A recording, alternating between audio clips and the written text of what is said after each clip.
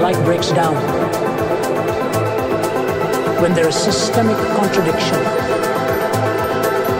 my name symbolized all that was corrupt to society.